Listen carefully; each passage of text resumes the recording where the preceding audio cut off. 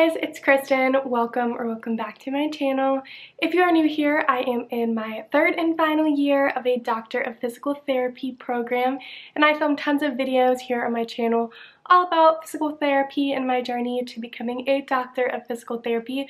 So if you are interested, please be sure to take a second and subscribe down below. Today I am filming a Q&A because I've been getting a lot of good questions recently in my Instagram DMs, in the comment section of recent vlogs, as well as a few miscellaneous questions that I've gotten on my community tab. So I figured I would sit down and answer them all and give you a little bit of a life update as well because my life has kind of been chaos lately. Also a ton of birds like chirping outside my window right now. So if you can hear that, I am very, very sorry, but I have my phone here. So I'm going to pull up the questions and get on into the video. So the first question says, Hi Kristen, is this current clinical rotation considered out of state for you? I'm not sure what to do when I have an out-of-state clinical, if I should find roommates or get a one-bedroom apartment. I didn't think apartments allowed 12-week leases. What do you recommend? So this is kind of confusing actually. If you didn't know, I attend Mercer University, which is in Atlanta, Georgia. However, my family lives in Philadelphia, kind of the suburbs surrounding Philadelphia specifically. I graduate in the spring. I do want to move back home just to be closer to my family for when I'm like looking to get married, buy a house, have kids, that sort of thing. I do not want to be 12 hours away from my entire family. So I chose to get as many clinical rotations as I could kind of closer to my family. So two of my three full-time rotations are in Pennsylvania. And unfortunately it worked out. So the one in Georgia was right in the middle. So yeah, so for my first and last clinical, I'm living at home. So I really only needed housing for this rotation, which is August through November, which is 12 weeks. And I kind of exhausted all of my options. I reached out to people I knew that lived kind of in the area to see if they knew of any options. I looked at Airbnb, Vrbo, kind of long-term leases, and those were so, so, so expensive. And since I did have all the furniture to furnish an apartment from like college and previous apartments in grad school, I decided to just find an apartment that did short-term leases. And I didn't think many did two or three month leases, but they actually do. They advertise it on the website. So if I were you, I would just call up and ask if they do short-term leases and what price it would be. But for me, that is what made the most sense. Obviously rent is going to be more than if you signed a 12 month lease, but I am here for such a short period of Next time. Next question is when are you taking the NPTE? So if you didn't know, that's basically the board's licensing exam that you have to take in order to practice and have your license as a physical therapist. And you can either take it in April or July um, and also other times throughout the year, but if you're graduating in May, obviously you're probably looking at the April or the July date. And my school actually encourages us to take it in April. However, I'm kind of in a tricky situation because since I will be sitting for my Pennsylvania licensure, they don't let you take it before you graduate. So technically I graduate in May, so they don't let you take it in April. So I could, option one, take it in Georgia in April and then kind of pay and have it transferred to Pennsylvania or I can just wait and take it in July for Pennsylvania. So I'm still trying to figure out exactly what I want to do. If you have any advice for me, if you already took the NPTE, please leave it down below. The next question here is, have you already started applying for jobs yet or how does that work? So from what I've heard, most people start applying for jobs kind of in their last semester, like January, February-ish range. I'm not gonna lie to you guys, I was offered a job by my first clinical site that I was at over the summer, so that definitely is something I'm really, really considering because I absolutely loved that clinic. I'm also very interested in pelvic floor physical therapy. That is what my final clinical rotation is in, so depending on how that goes, I'll probably also apply to some other kind of pelvic floor private practice clinics, but I haven't applied to anything yet. The next question I thought was very, very interesting, and it says, Hi Kristen, I just got accepted into physical therapy school. Do you ever regret becoming a physical therapist or choosing this major? And I thought this was very, very interesting um, because I know that there is a lot of talk about this kind of across social media and other platforms are constantly kind of talking down about the profession and almost discouraging you from entering the profession as a student because the way things are going with our reimbursements being cut and that sort of thing. But I honestly do not regret becoming a physical therapist. I personally know I'm going to be so happy and fulfilled from this career.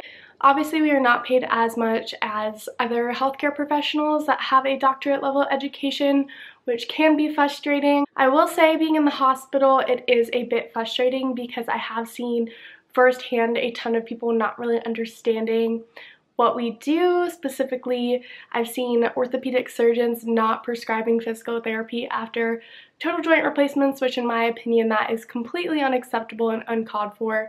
It is 2022 people. Also seen doctors put in orders for physical therapy to do passive range of motion on sedated patients in the ICU.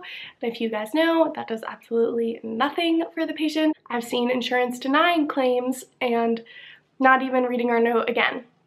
So I've just seen a lot of lot of messed up things that have really like hurt my heart, but the end of the day, no, no regrets. I know I will love this career, so if you really, really, really want to be a physical therapist, don't listen to the haters. I personally think change is coming and things are looking up.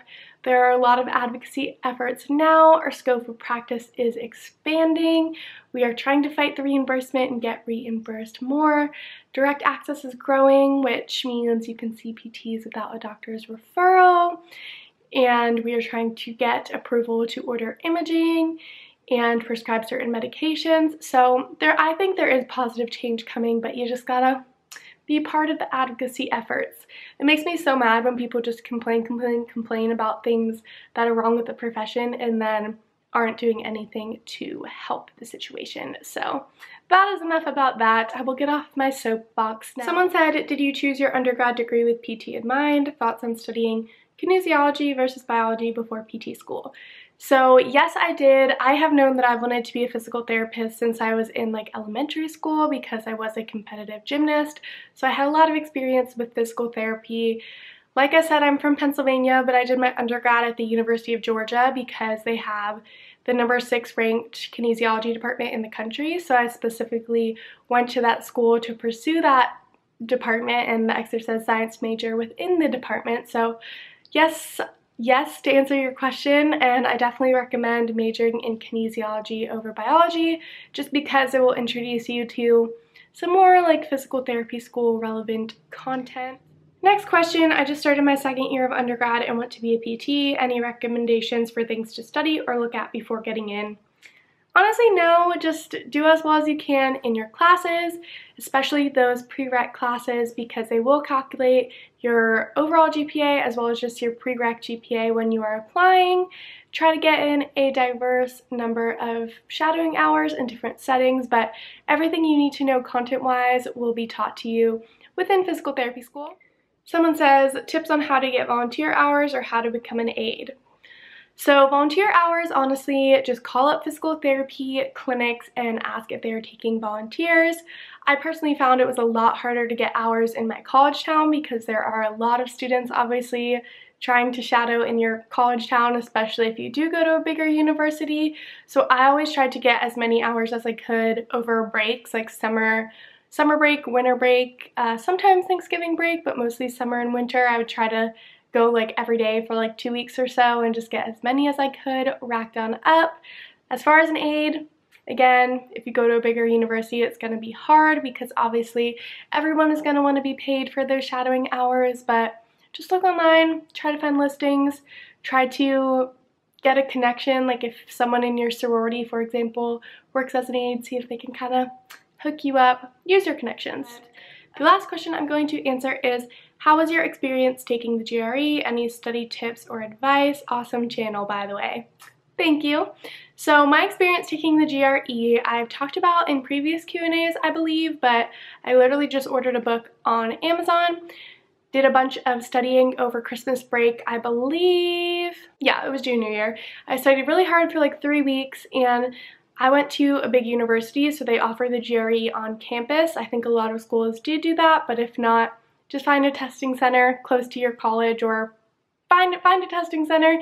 I think it's offered through Pearson, so it's offered like every single day, multiple times of the day. It's not like a few times a year situation. You can take it as much as you want. So I studied all break, literally took it the day I got back to my college town after break before classes started, or maybe it was like the first or second day of class, before I had other kind of stuff to worry about school-wise. I took it and I did do pretty well, but a lot of schools do super score, so I decided I would just take it one more time.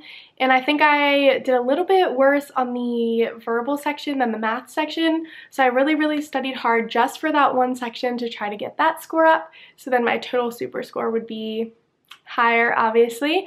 So I took it again, I think like a couple weeks later, um, and just studied a little bit like that one section. And that was that. I think my score was like 310, something like that. But I honestly don't think the GRE is too important. I think it's just a little checkbox. Most schools you just need a minimum of a 300 and then they kind of check off that box and look at the rest of your application. So those are all the questions I'm going to answer for you guys today. I wanted to thank you guys so much for watching this Q&A and for supporting my channel. We are almost to 5,000 subscribers, so thank you guys so, so much for all of your love and support. I can't believe I only have pretty much one more semester left of school before I am a PT of my own. I'm so, so, so excited to be working and just to be, not be a student anymore. It has been long, long overdue. 24 years of my life in school is enough, people. Thank you guys again. Be sure to subscribe down below if you enjoyed, and I'll talk to you in my next video. Bye!